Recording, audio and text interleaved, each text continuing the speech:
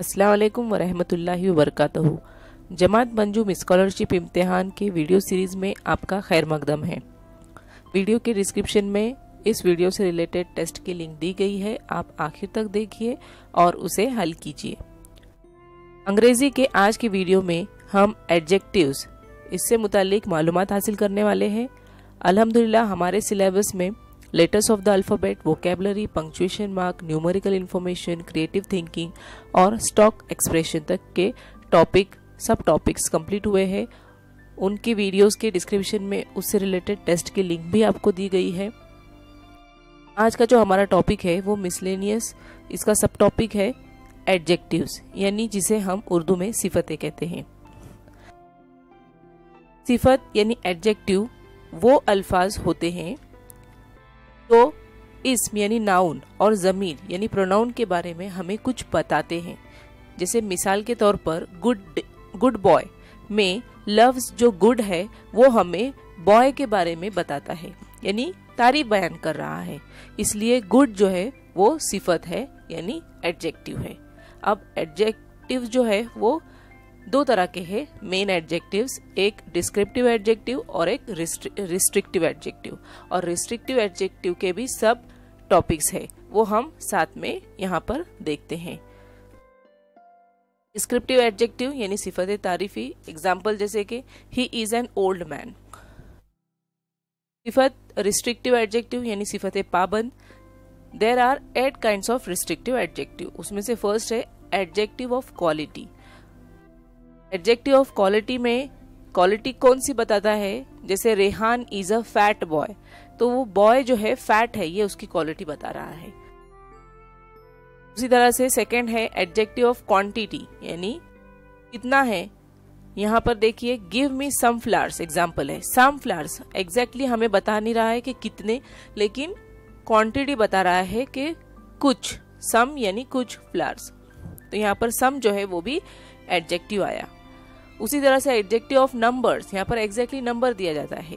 Zaid has has the only one book one यहाँ पर adjective है। डेमोन्स्ट्रेटिव एडजेक्टिव यहाँ पर दिस इज़ माई बुक तो यहाँ पर दिस जो है, वो एडजेक्टिव है। प्रॉपर एडजेक्टिव के अंदर ट्रेडर्स आर रिच तो यहाँ पर ट्रेडर्स जो है, वो प्रॉपर एडजेक्टिव है। उसी तरह से डिस्ट्रीब्यूटिव एडजेक्टिव इसमें एवरी स्टेटमेंट इज़ यहाँ पर एवरी जो है वो डिस्ट्रीब्यूटिव एडजेक्टिव है। उसी तरह से सातवां है इंटरोगेटिव एडजेक्टिव इसमें which book do you like यानी क्वेश्चन वाला। विच यहाँ पर ये इंटरोगेटिव एडजेक्टिव है। उसी तरह से एम्फोसाइजिंग एडजेक्टिव उसमें I live in my own house तो ओन जो है वो यहाँ पर एम्फोसाइजिंग एडजेक्टिव है। आइए हम इसकी मिसालें देखते हैं ताकि और भी ज़्यादा आपका कंसेप्ट क्लियर हो। Choose the adjective in the sentence यहाँ पर एग्ज़ाम्पल मिसाल दी गई है, एक क्वेश्चन दिया गया है कि हमें इस जुमले में से एडजेक्टिव तलाश करना है। We saw a small puppy near the tree तो हमने अभी देखे हैं, यहाँ पर ऑप्शन है ए अ पपी नियर और स्मॉल यहाँ पर एडजेक्टिव यानी सिफत बताना है। ये जो पपी है, उसकी सिफत क्या बता रहा है? स्मॉल पपी है। We saw a small puppy near the tree तो यहाँ पर एडजेक्टिव जो स्मॉल है, वो तीन, चार नंबर का ऑप्शन हमारा सही होगा। नेक्स्ट है complete the phrase using the correct adjective from the given alternative a dash dash rabbit अब रैबिट की खासियत हमें पता है। एडजेक्टिव यानी उसकी सिफत बताना। रेड टॉल नहीं। रेड और टॉल तो नहीं होता है। लिटिल एंड कोल्ड छोटा और ठंडा। कोल्ड यानी ठंडा। नहीं होता है।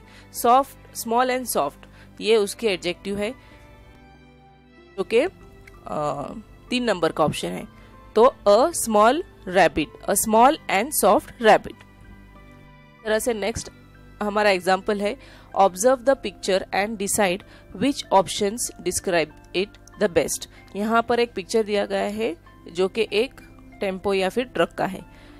तो वो हमें इन जो डिस्क्रिप्शन दिया गया है, उसमें कौन से डिस्क्रिप्शन में वो सही बैठता है? जैसे कि स्मॉल एंड लाइट है, वो हल्का है, छोटा और हल्का है, नहीं, ये तो भारी होता है। Tall and fast tall and fast है, लेकिन ये उसके लिए सही नहीं बैठ रहा है। और भी देखते हैं हम ओल्ड एंड न्यू पुराना और नया, नहीं बिग एंड हैवी बड़ा भी है और भारी भी है। तो इसलिए ये जो चार नंबर का ऑप्शन है, वो सही है। इसी तरह के और भी क्वेश्चन आपके डिस्क्रिप्शन में टेस्ट की लिंक दी गई है, उसमें है, आप उसे हल कीजिए इनशाला हम अगले वीडियो में। शुक्रिया।